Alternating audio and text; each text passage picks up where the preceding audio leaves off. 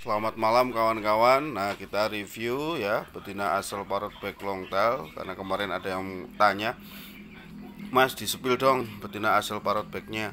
Nah, ini salah satunya malam-malam kita review ya kawan-kawan. Ini ayamnya bulat banget ya, besar ya. Ini uh, ukurannya empat setengah kilo kawan-kawan untuk betina asal parut back ini. Ini yang Tamil Nadu yang jenis ukur besar ya. Kalau yang ukur sedang biasanya yang Andhra Pradesh kawan-kawan.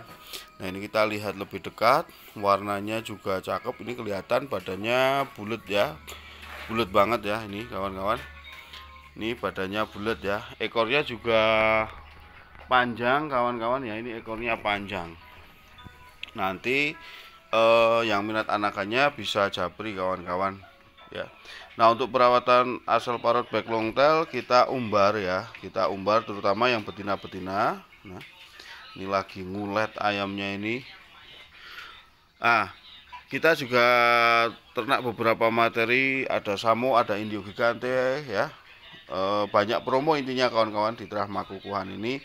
E, itu stok banyak itu yang lainnya lagi pada tiduran ya. Nah yang sampingnya ini Samu Eropa ini lain Zacer kawan-kawan.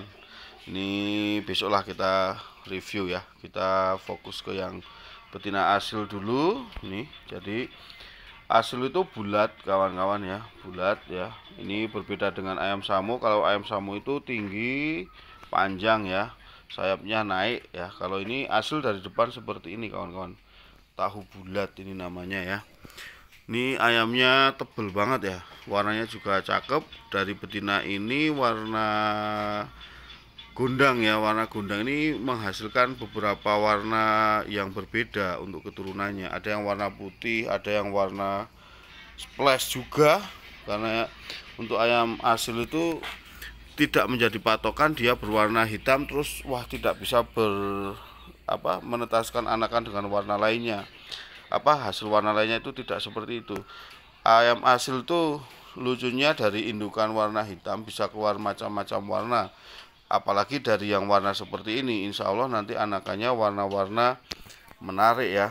E, contohnya ini warna widu kawan-kawan. Warna widu atau jalak pejantan jalak dengan betina hitam itu bisa mengeluarkan ayam asil parut dengan warna putih. Karena kita dulu pernah mencobanya ya. Apalagi kita sekarang ini dengan warna yang cerah seperti ini insya Allah nanti hasil anakannya akan berwarna-warni.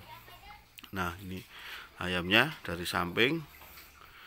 Nanti silakan kawan-kawan yang minat ayam samu, ayam asil, ayam induk gigante bisa japri di 085643844225 kita banyak promo menarik kawan-kawan ya pokoknya jangan sampai ketinggalan jangan sampai kelewatan atau kalau pas lewat Temanggung bisa mampir di Terah Makukan tepatnya di desa wisata Kedu ya.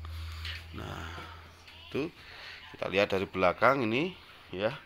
Ekornya ini masih banyak yang ngebung kawan-kawan ya. Semoga nanti bisa menghasilkan keturunan yang jos-jos ya.